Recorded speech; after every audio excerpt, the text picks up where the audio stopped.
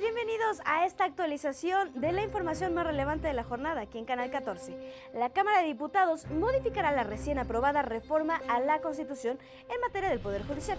Esto debido a que en el artículo 94 constitucional se establece que el presidente de la Suprema Corte de Justicia de la Nación sea el candidato que obtenga más votos en la elección de 2025 algo que contradice el mecanismo vigente en el artículo 97, donde la designación está a cargo de los propios ministros. Al respecto, el coordinador de los diputados de Morena, Ricardo Monreal, anunció que se presentará una iniciativa para cambiar otra vez la reforma, aunque no precisó si se eliminará el artículo 97 o solo se cambiará la redacción.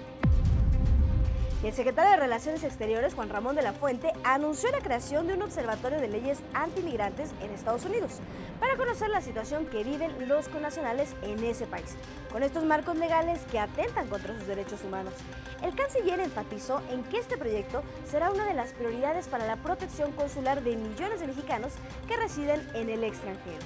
Y la Secretaría de Relaciones Exteriores también alertó a los mexicanos que viven en Florida por el avance del huracán Milton hacia costas estadounidenses.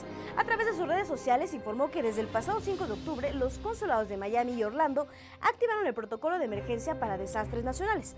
Además, puso a disposición de quienes lo requieran los números de contacto de dichos consulados para atender cualquier duda. Y en la ciencia, el estadounidense John Hopfield y el británico-canadiense Geoffrey Hinton fueron galardonados con el Premio Nobel de Física por sus trabajos pioneros sobre el aprendizaje automático una herramienta empleada en el desarrollo de la inteligencia artificial. De acuerdo con el Comité del Nobel de Física, los galardonados utilizaron conceptos fundamentales de la física estadística para diseñar redes neuronales artificiales que funcionan como memorias asociativas y hallan patrones en grandes conjuntos de datos. Hasta aquí el corte informativo, nos vemos a las 6 de la tarde por Informativo 14.